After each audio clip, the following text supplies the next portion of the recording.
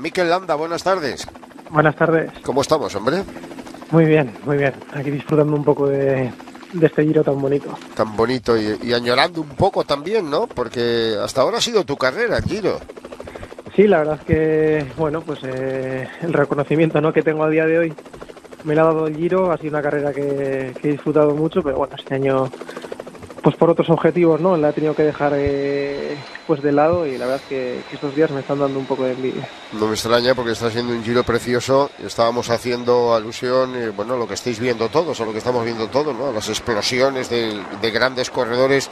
Esto nos devuelve al, ciclismo épico, ¿no? Que, a veces, cuando hay demasiado control, se añora, ¿no? Que sois humanos, vaya.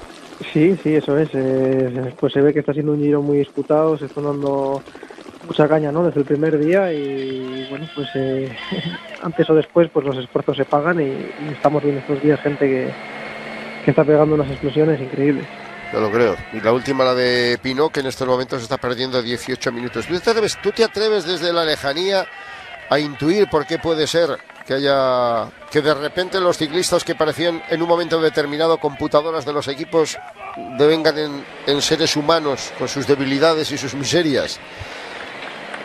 Hombre, pues eh, no sé, ¿no? Eh, supongo que, que Pino pues, no, no recuperó bien ayer el, sobreesfuerzo que hizo, ¿no? Y, hoy lo ha pagado. Y pues yo creo que un poco lo mismo, ¿no? Eh, el estrés de ir todos los días líder, de todo lo que supone, ¿no? Después de la etapa de rueda de prensa, podium, pues bueno, ha ido sumando un estrés o una fatiga y el día que pues que necesitaba un poco de, fuerza pues le ha faltado.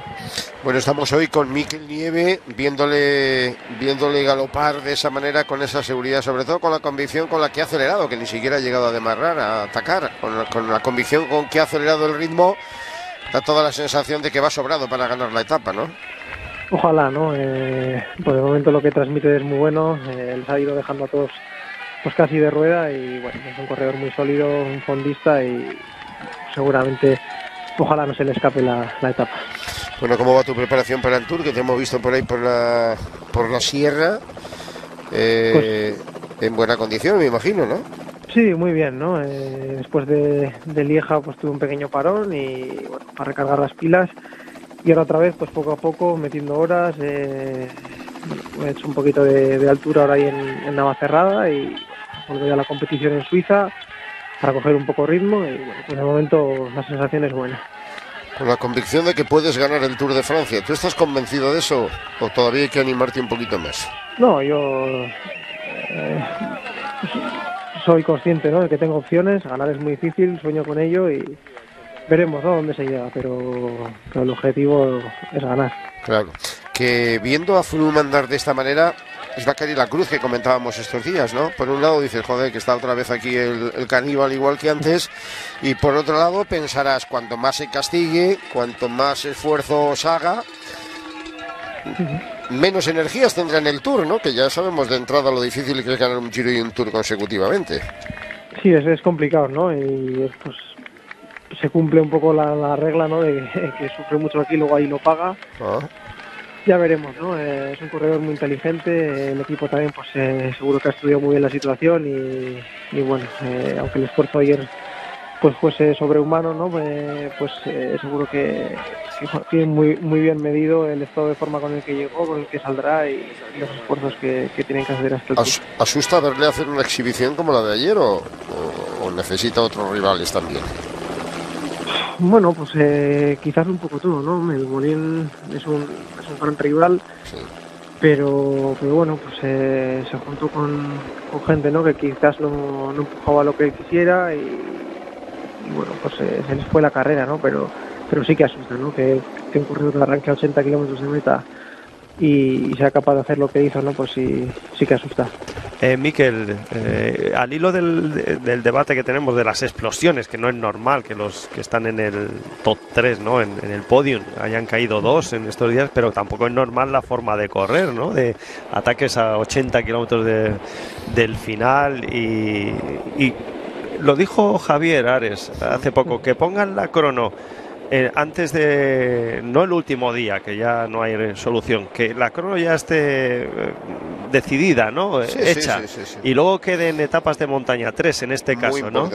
Yo creo que ha sido decisivo por, por para que Frun se jugase ayer el todo por el todo y claro, con los esfuerzos que han hecho a 80 kilómetros, que eso no lo recordamos en el ciclismo actual, se esté pagando, ¿no? Esos esfuerzos. Ayer, pues de, de, calorías, kilocalorías que se consumieron, un esfuerzo de esos en una etapa de ayer, el que va un poco justo ya no se recupera. Yo creo que es el, motivo de las explosiones, ¿no? Sí, yo también lo creo así, ¿no? Eh, estamos al final del giro, eh, tienes todo el giro acumulado y como hagas un sobreesfuerzo y, el cuerpo pues eh, ya llegado, haya llegado justo ¿no? a ese día, pues no es capaz de darle la vuelta. Antonio.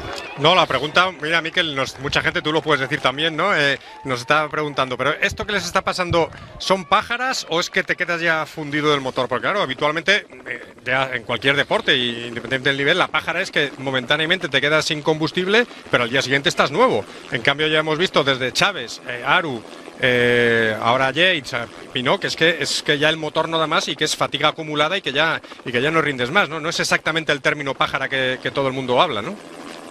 Sí, pues quizás eso es, quizás no sea una pájara momentánea, pero bueno, si ya ayer pues acabó muy muy justo la etapa, luego quizás eh, no comiese ¿no? lo suficiente después de la etapa, la noche pues tampoco pues tuviese igual el apetito que, solemos tener y no cargas, eh, no recuperas ¿no? los depósitos igual igual, pues eh, el día que lo necesitas no lo tienes te pasa lo que le ha pasado hoy.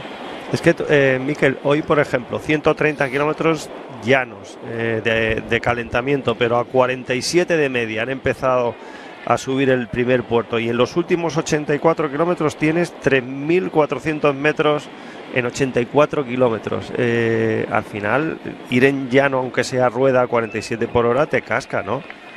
Sí, sí, sí. Todo suma hasta las etapas llanas, ¿no? Hasta hasta las etapas llenas desgastan ¿no? en una grande vuelta y, hay que estar preparado para, para, cualquier terreno porque aunque sea llano, si la velocidad se salta, también, también desgaste igual igual. Oye, imagino que os estará viniendo, entre comillas, bien poder tomar nota de lo que está ocurriendo en este giro, ¿no? De, si está cambiando algo, de si se va a correr...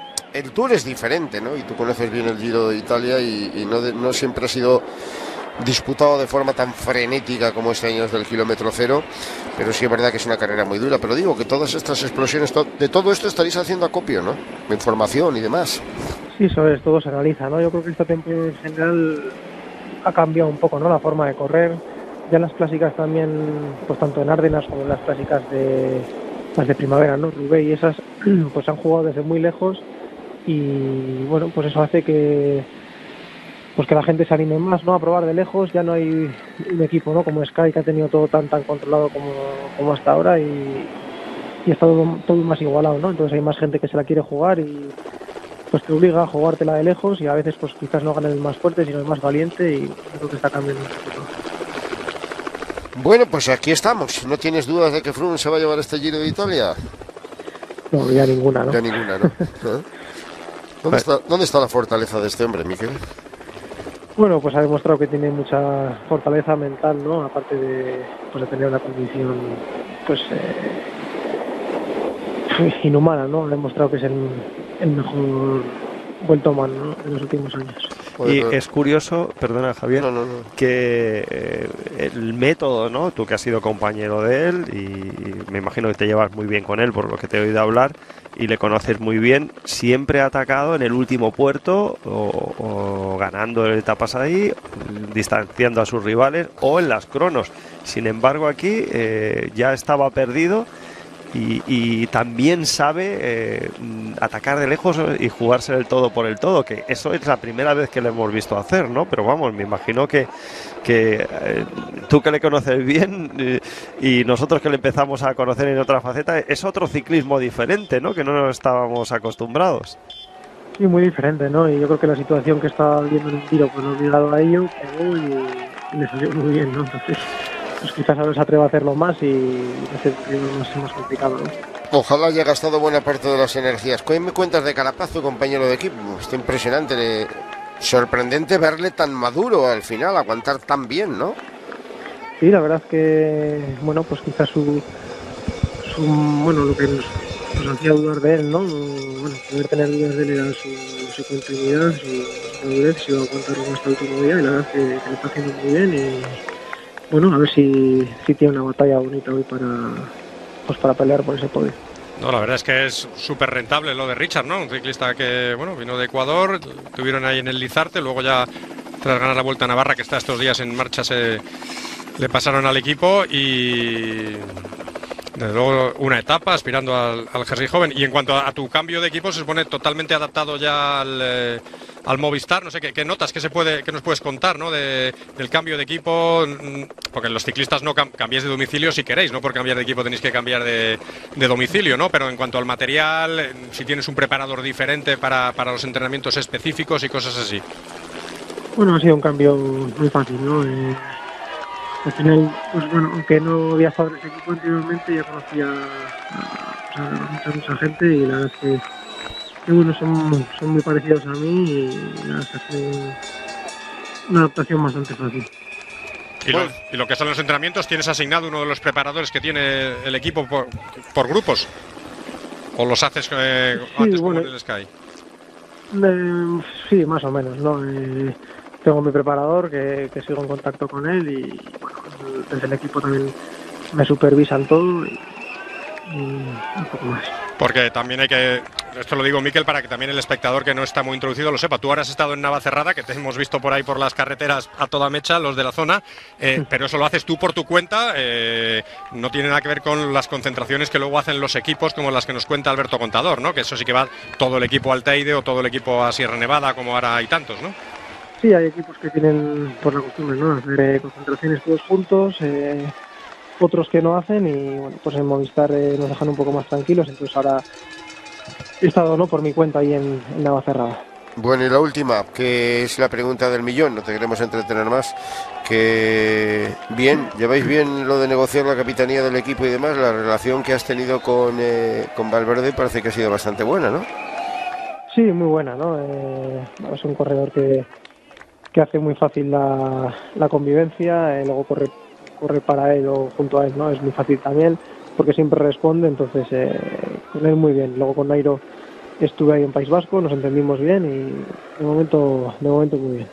Muy bien, Miquel, pues nos alegra muchísimo saber que estás en buena condición, que estás ilusionado, eres nuestra esperanza y nuestro estandarte también ahí en el Tour de Francia, así que te deseamos lo mejor. Un abrazo fuerte. Un abrazo. Ánimo. Te, te vemos por la tele en el Tour. Gracias.